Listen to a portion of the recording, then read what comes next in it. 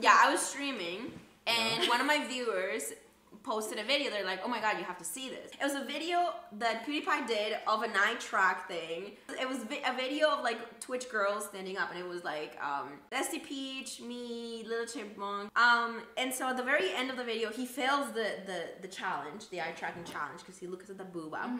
Um, and he's like these stupid Twitch thots. And I, I watched the video on stream and I got really pissed because at the time I had a big ego and I was like, I'm not gonna let anybody call me a thot. Now if somebody called me a thot, I'd be like, oh yeah, I am. You know what I mean? Um, so I get up and I screamed to my friend. I was like, let's copy strike PewDiePie. But it was, it was, I was trying to be like super extra.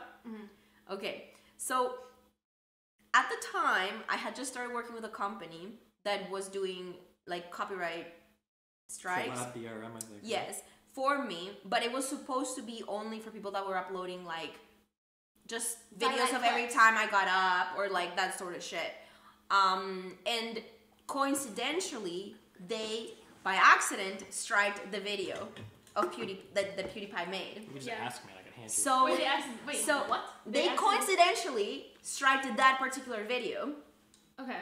and he posted that the video got striked. Oh, and then you said it, so. Yes. Okay. So it So like it. so it looked like I did it. Like I striked this video. Now the thing that nobody knows about is that the company that did the strike, they were like, "Hey, it was not Alinity." They released like a, a statement saying like, "Hey, it wasn't Alinity. She didn't strike the video. We mm-hmm. did by accident. It was one of our employees." Mm-hmm.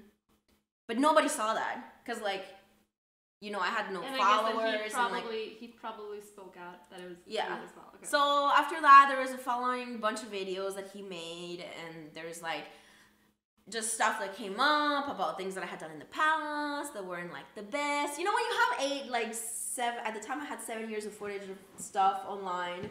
Mm-hmm. There was like things that I'd done, like I would get really drunk and I would ca- climb on my cat tower, and What? yeah, it was I bad. can't look that up. The lost tapes. Yeah, the lost tapes of Alinity. Um, so everybody, like his followers, his subscribers, started going through all my footage and like comp, making compilations of like yeah. things that didn't make me look so good.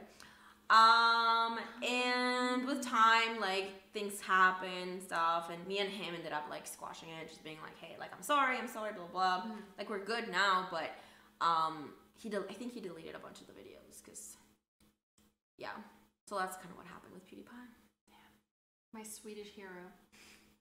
Oh, because you're Swedish. Swedish. Yeah, I didn't even Swedish. think about that. Yeah, the, ha- the it's a happy ending, I guess. Happy ending.